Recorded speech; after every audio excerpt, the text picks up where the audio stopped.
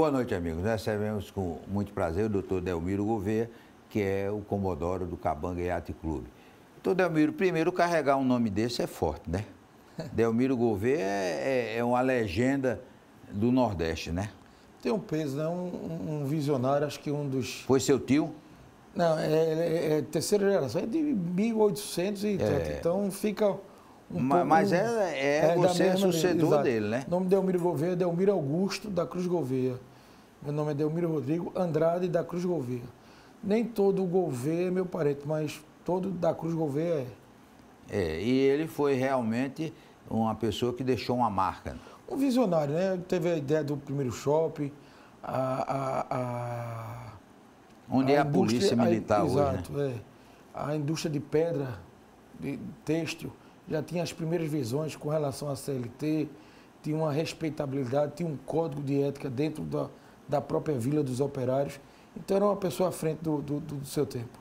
Ô, ô, ô, Delmiro, por que é que todo presidente de clube é presidente e você é comodoro? Que diabo é comodoro? No mundo náutico, na realidade, o, o presidente executivo chama-se comodoro.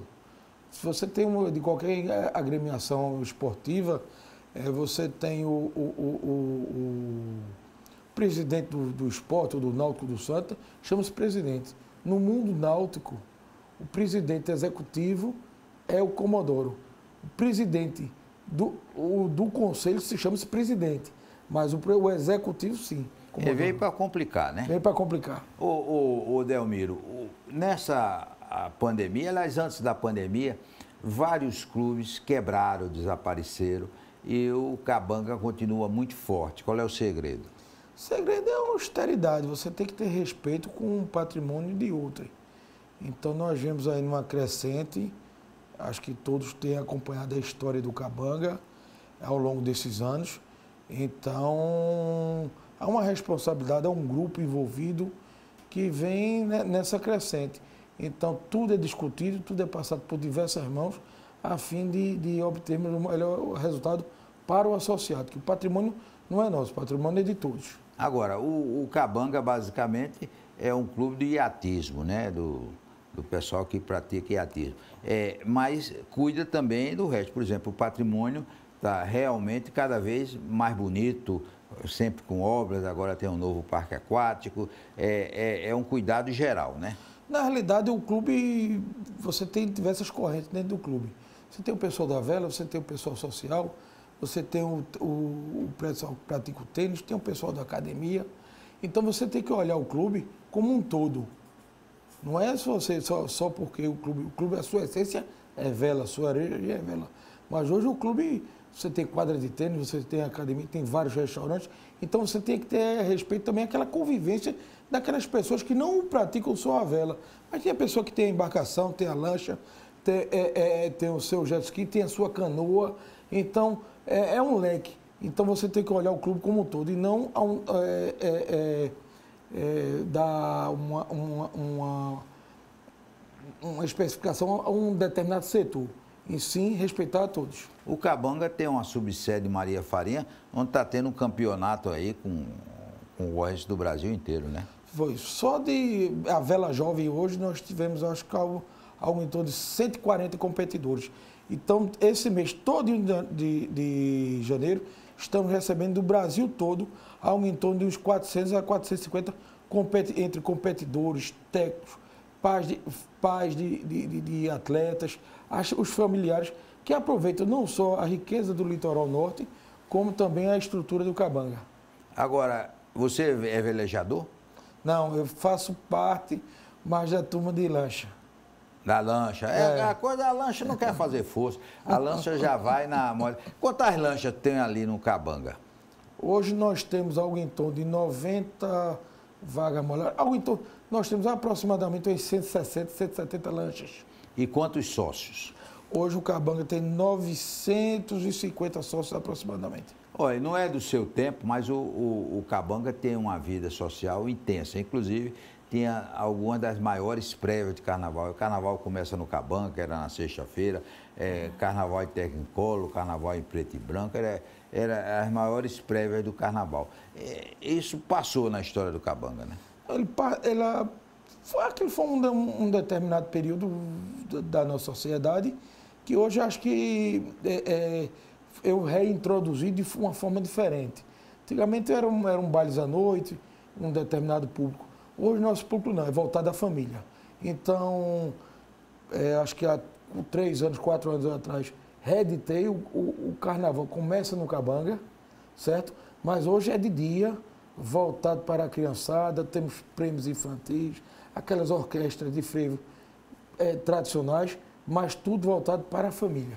Porque o, o Cabanga, inclusive, adaptou a sua quadra lá para as festas, fez camarotes e tal, e era realmente um grande sucesso. Mas agora é outro clima. E como é que está o panorama gastronômico do Cabanga? Hoje, hoje nós temos lá é, é, três ou quatro parceiros, digamos assim, temos um, um Chicama, que é um excelente restaurante. Que é o mais famoso, né? É, exato. Mas também temos um, um, comidas é, é, é, de frutos do mar, delicioso, que é o Cisne Branco. Temos é, bares com relação à piscina. Então é bem, bem acessível. Também temos isso na, na subunidade de Maria Farinha. Agora, esses restaurantes podem ser acessados, Delmiro, pelo não sócio? Pode. O Chicama tem um acesso durante a semana ao não sócio e final de semana um, um contingenciamento definido, pré-definido, junto com o, o, o, o, restaurante. Já com relação a, a, a, aos restaurantes internos do Cabanga, alguns são permitidos durante alguns dias da semana. Aí é, o Cabanga também é, recebe muitos iates que vêm do mundo todo e param lá no Cabanga, né? Exato. Esse mês agora nós recebemos, agora que passou, a família Churma, o Churma, um pessoal excepcional. Inclusive, quando, quando eu tive a oportunidade de ser comodoro a primeira vez, eles participaram da, em, acho que em 2019. Foi a maior regata que o Clabanga participou até hoje. Patrocinou. Foram quase 700 velejadores para Maria Farinha. E eles se fizeram presente. Fiz o convite novamente para eles fazerem presente este ano, está previsto aí para, para abril, para, aliás, para setembro, mas eles me falaram que em 2022 estarão no México. Eu disse, então renovei o convite para 23. E eles vão me falar que provavelmente estarão na Nova Zelândia. Eu uma sou, nova viagem. Eu soube que ele convidou para ir fazer um trecho lá no iate dele, se não vou não, eu só ando de lancha. não, não é um iate não, viu? É uma mansão, tem de tudo. Tem de tem, tudo. Tem de tudo, aquecedor, tem, tem de lavanderia, é uma estrutura formidável, completa. Você foi tanto, conhecer? Conheci, tanto que proporciona você viajar, eu salvo engano, posso estar equivocado, acho que é a quinta viagem que ele vai fazer ao entorno do mundo. Agora, eles, naquele barco, eles trabalham muito, que eu vejo, né? Não, não, não tem descanso. Não tem Cada um tem sua função, tem o, o turno da noite, então é, é, é, realmente todos se movimentam. Não há espaço para o comodismo ali. Aí quando disseram a você, se estou fora. Isso não faz parte da minha praia. É.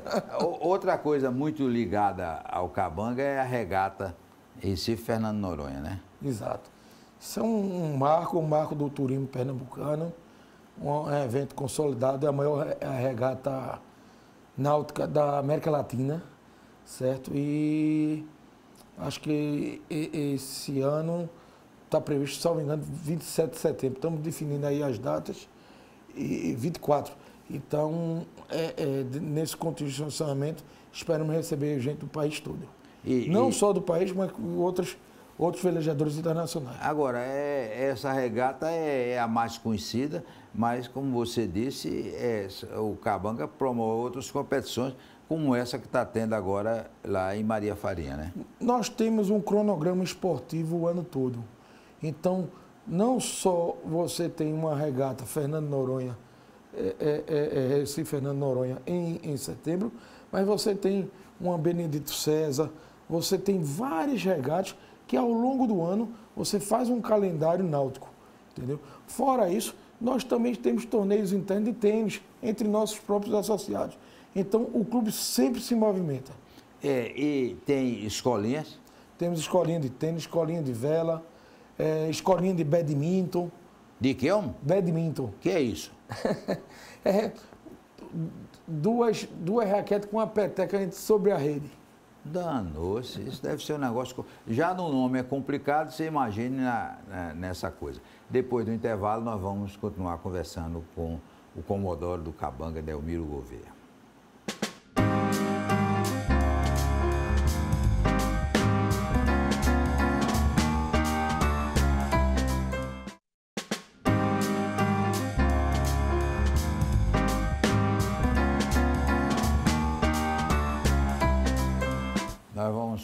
Conversando com o doutor Delmiro Gouveia, que é o Comodoro do Cabanga. É, Delmiro, você falou é, é, de uma mudança de, de, festa, mas grandes festas aconteciam no Cabanga, é, tipo terceirizada de, de, de, outras empresas, que evidentemente que a pandemia evitou, mas elas podem voltar. Não, hoje, não, hoje isso foi um, foi um período que houve uma necessidade com relação ao ajuste da, da, da própria estrutura do Cabanga Hoje nós não pensamos nisso. Não. Não, nós pensamos em preservar o, o, o, o sócio, certo? Porque, queira que não queira, essas festas geram um incômodo associado.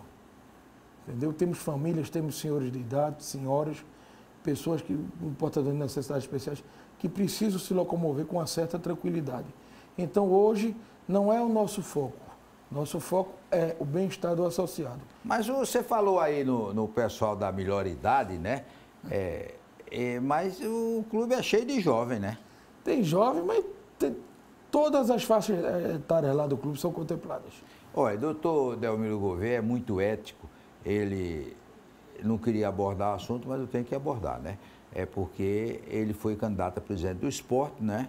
E é, ele é muito ético, não vai dizer algumas coisas, mas vai falar alguma coisa sobre o esporte, que é o clube do coração dele. Doutor Almeida, por que, é que o senhor resolveu ser candidato a presidente do esporte? Primeiro, um, um desejo de, de, de, de, infância. O meu clube do coração frequento desde quatro anos de idade, no mesmo lugar, nas mesmas, nas mesmas cadeiras é, do, do esporte. E eu acho que eu poderia contribuir com a experiência que eu adquiri em outros lugares, tanto lá como na Sociedade Nordestina dos Criadores, e dar uma visão mais empresarial, mais profissional para a estrutura administrativa do esporte.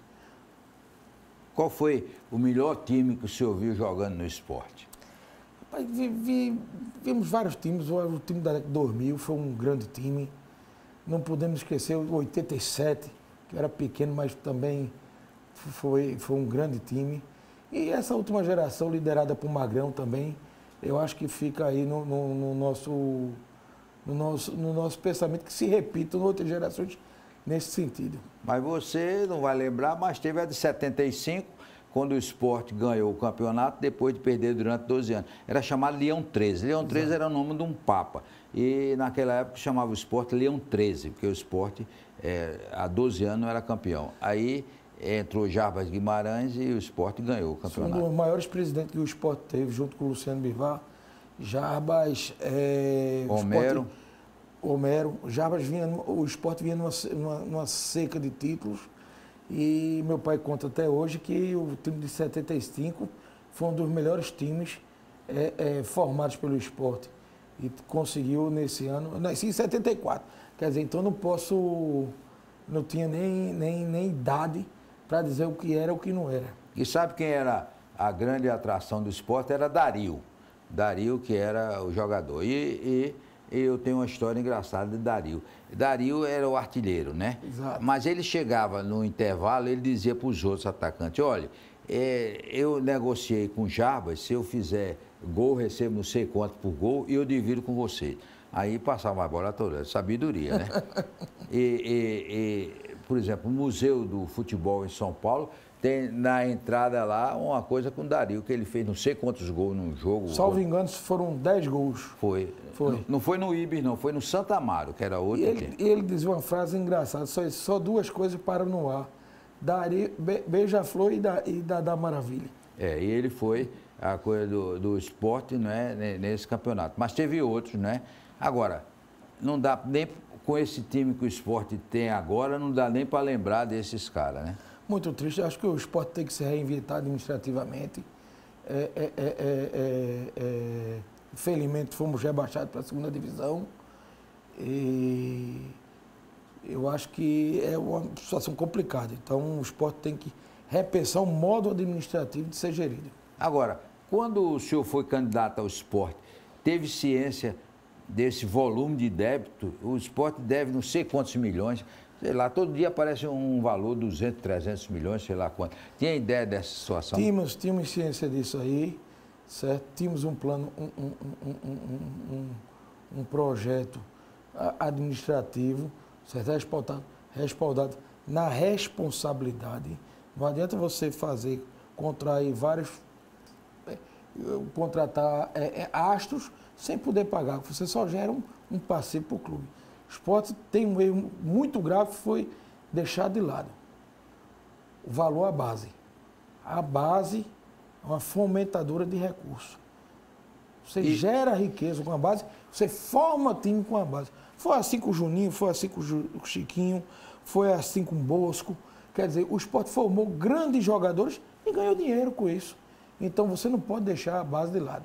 A base é, é, é a principal, o principal fomento de, de divisa para o clube. Não, e agora teve o pior, né? Contratar não sei quantos jogadores com salário alto e que esqueceram de registrar e não puderam jogar, né? E até hoje estão recebendo sem jogar, né?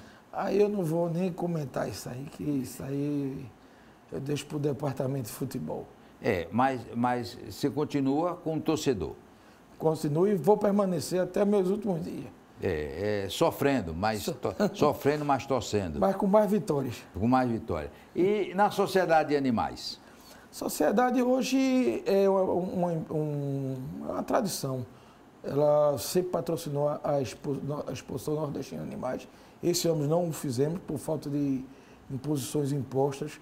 É, acho que nós devemos gerir a, a, o patrimônio de Pernambuco com responsabilidade.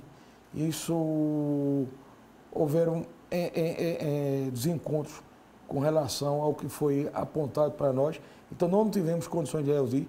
A sociedade nordestina não participou de nenhuma hipótese de qualquer tipo de evento com relação na capital de Pernambuco, certo? Mas a, a tenho que, temos que destacar o seguinte: a importância da, da Sociedade Nordestina dos Criadores. É a entidade mãe, é a entidade que patrocina o desenvolvimento agropecuário do Estado. E pode voltar a fazer esse Pode voltar, até porque isso aí, é, o, o parque pertence, Antônio Coelho pertence ao Estado. Então, isso mais à frente, uma, uma nova visão voltada para o agronegócio. O agronegócio é quem fomenta o Brasil. É a principal vez. Se não fosse o agronegócio, nossa balança comercial estava como? E como é que está, Delmiro, a situação é, nessa área de Pernambuco? Veja só, nós hoje, hoje somos o, o, o, segundo maior produtor, é, é, é, é criador, de... é, produtor de, de caprinos, o terceiro de ovino, o quarto maior produtor de, de ovos do país. Quer dizer, então tem um, temos um setor é, é, significativo. Afora isso, a Mata Sul, outrora pouco ocupada com relação à, à cana-de-açúcar, vemos o quê? Uma crescente pecuária no estado voltada nessa região. Temos hoje um, um frigorífico industrial sendo, sendo é, terminado, finalizado. Canhotinho. Né? Canhotinho, né? esses meses. Então, isso é o desenvolvimento do agronegócio do Pernambuco. Então, temos que olhar com bons olhos, certo? Quem realmente trabalha, quem realmente produz e que incentiva esse setor. Olha, teve um tempo aqui que a moda era criar quarto de milha, cavalo quarto de milha. É, teve o saudoso Sérgio Guerra, comprou um por 100 mil dólares, é, ele e uns amigos, e o bichinho morreu, foi uma tristeza. Não tem mais esse negócio de quarto de milha, não? Não, tem, tem. Sérgio Guerra era manga larga machador. É, manga larga. É. Era, é. exato. 100 mas, mil dólares ele comprou e o bichinho morreu. Mas temos um, um, um, quarto, um mercado grande de quarto de milha, do mesma forma, um mercado grande em Manga Larga Machador. Temos aí o, é, um dos maiores criadores a nível é, é, é, nacional do estado da raça campolina, que é, é Ademar Rigueira, advogado, um excelente é advogado. É baixinho, né? Baixinho, gigante, chamamos gigante, junto com o Renato Tavares de Mello, quer dizer, o, o recentemente o, o, o cavalo dele foi campeão nacional, o foco. Então, então o mercado de Pernambuco, é, é, é, com relação ao agronegócio, tem que haver a valoração. Eu acho que, que temos que olhar com bons olhos quem realmente produz, quem realmente tem compromisso com o desenvolvimento. E a raça de gado que mais faz sucesso em Pernambuco, qual é? Olha, todas as raças fazem sucesso. Cada, cada, cada produtor é, é, é, é, tem a sua peculiaridade. Tem a pessoa que gosta do holandês, tem a pessoa que gosta do Cindy, tem a pessoa que gosta do Gi. Então, mas nesse contexto, temos que destacar o Nelore. O Nelore é a base, é, é a base de todas, de, como assim, não, não, temos, não só em, em, em contingenciamento, é em volume. Então, acho que o, o, o, Nelore. Mas todas as raças têm sua importância. E, e não vai faltar insumo lá para canhotinho, não, né?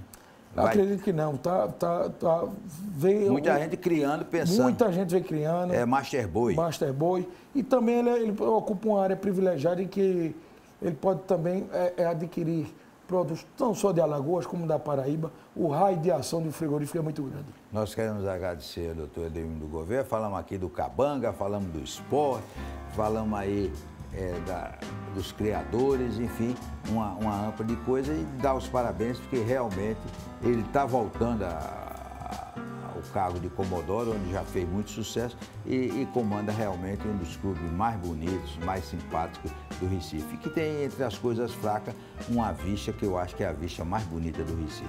Um forte abraço e até o próximo programa, se Deus quiser.